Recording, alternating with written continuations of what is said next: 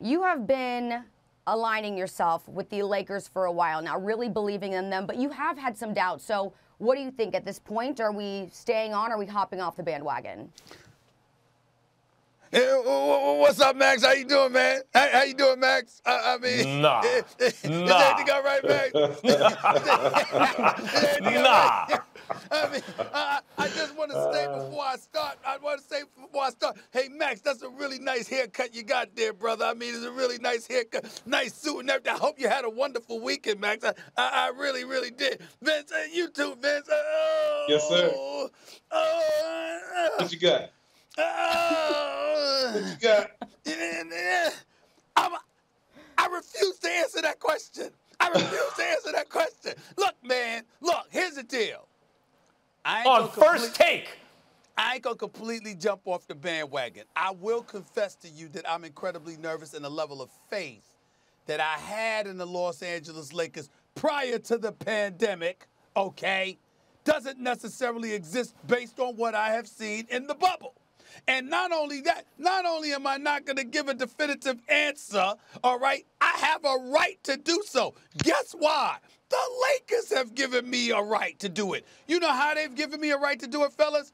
Did you hear the news about how they're gonna have, they're gonna honor Kobe with like the black mamba stuff on their jersey? Did you notice with the print? I mean, read the article.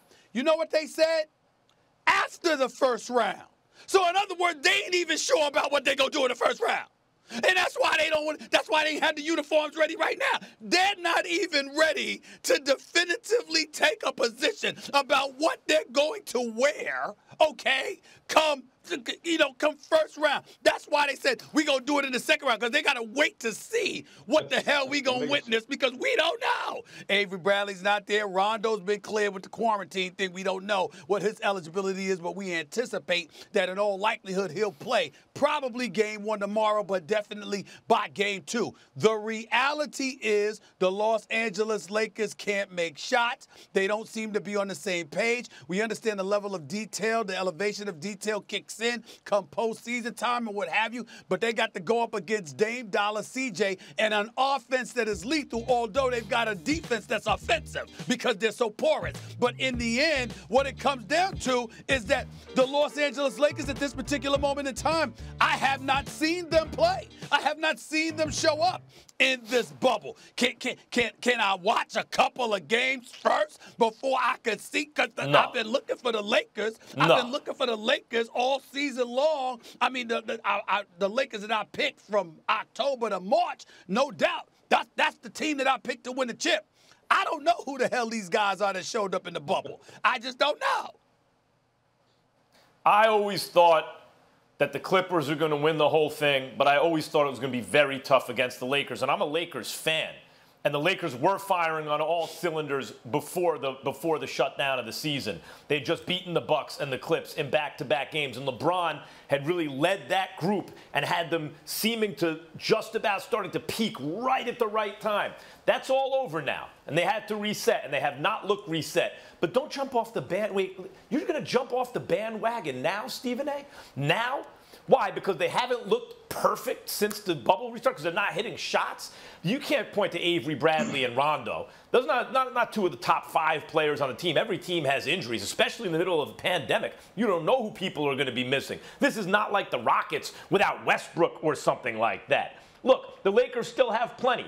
LeBron James is still among the best players in the game. I thought that the entire season. So is AD. When you have two top five, six players on the same team throughout NBA history, that is a problem for everyone else, whether or not they win the whole thing. Portland does not. Portland was lucky to beat a next a Nets team that had nothing to play for. They were lucky. And when I say lucky, I mean LeVert had to miss the last shot. He had a look and he just missed it. If he doesn't miss it, they lose. Everything to play for. They don't do not play enough defense to beat the Lakers. So I already mentioned LeBron and AD. Everyone knows, and LeBron's even said Kuzma's got to be their third best player if they want to win. They've had great play from their bigs all year, way more than you could have anticipated reasonably. The bigs have outplayed, but I'm even looking at Danny Green right now. Danny Green has struggled hitting shots in the bubble. But guys, this dude has been a, a, a, kind of championship DNA style player. Like teams with Danny Green tend to, I don't know, contend for titles all the time. He's, he's been 20% of championship starting fives basically his whole career because he's a big guard who can really 3 and D. Even with his problems hitting shots in the bubble on the season, he's taking about five threes a game and hitting about 37% of them. That's a good three point shooter. Now, for his career, he takes like five threes a game and hits 40% of them. That's an excellent three point shooter. But even a good version and not an excellent version of Danny Green might be enough for the Lakers to challenge the Clippers in the Western Conference Finals. Surely it would be enough to get past Portland. But main thing is, Stephen A., you cannot, you of all people, best not be jumping off the bandwagon now. You've been pulling the bandwagon since the preseason, since the AD trade. Oh, where to start? Uh-oh, I, I say, go ahead. Vince, go ahead. I, I, am gonna say this. Uh, I, I'm, I'm gonna say it's not time to jump off the bandwagon yet, but the door is open and and Max, I, I kind of agree with you both. I'm in, but I'm in the middle. Uh, I think the Clippers now are healthy, and they see that the door is open, and they're going to take advantage of this opportunity. Uh, a lot of the things that you said, Max, as far as they need AD to play lights out, but they're shooting. Lakers shooting right now is is is of concern. They're going to need to hit shots because you're going to think Portland and every other team the Lakers are going to see, they're going to the, the attention is going to be on LeBron and AD. They're going to make these other guys have to hit shots. Kuzma is going to have to play lights out and be that third guy, like LeBron said they needed to. Uh, I, I, think my Tar Heel, Danny Green, who is proven in the playoffs, is going to have to be the Danny Green. No. So uh, right now, the door is open. Thanks for watching ESPN on YouTube. For live streaming sports and premium content, subscribe to ESPN Plus.